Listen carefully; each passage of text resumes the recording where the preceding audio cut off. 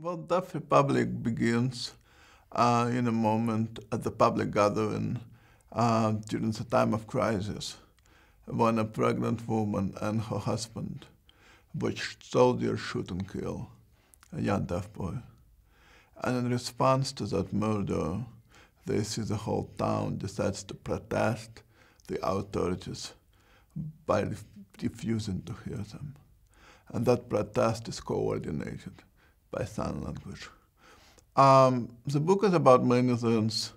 Um, I'm a refugee from U former USSR from Ukraine. And um, that book obviously speaks to that part of my life. But I have also lived in the United States for many years on the border between the United States and Mexico. So the book certainly speaks to that part of my life as well. Um, I'm also, I happen to be a hard of hearing person. And um, in the introduction to her great text, Extraordinary Bodies, the disability scholar Rosemarie Garland-Thomson says that the disabled body should move from the realm of the hospital room to the realm of political minority. So the book is very much in conversation with that as well. Um, obviously, the book is about crisis, um, but and we are both here in this country and in the U.S. and many other places are in a moment of uh, severe crisis. But it seems like everything around us is trying to amplify the crisis. The capitalism is trying to make money on it, trying to make us buy things.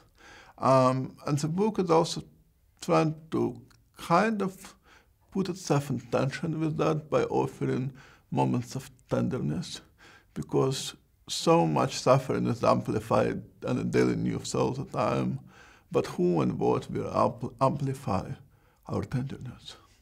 When I lived in the USSR, I came to America when I was 16. I didn't really have hearing aids. So the Russian I knew in one way or another was a language of images I lived and when I began to write in English, I realized it later, after my first book, Dancing in Odessa, was published, that um, image is my main device. It's as if I'm trying to make poetry entirely out of images. Um, in Deaf Republic, I tried to complicate that a little more. There are nursery rhymes, there are lullabies, there are love songs.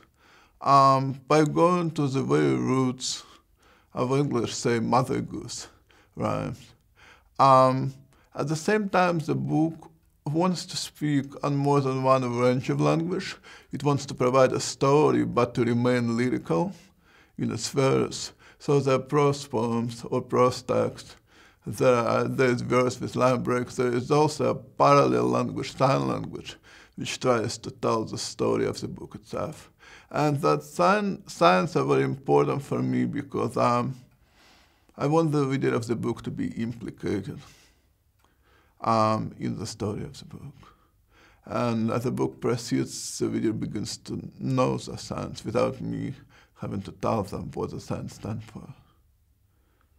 And my hope is that the book learns not just the language of science, but the language of the story.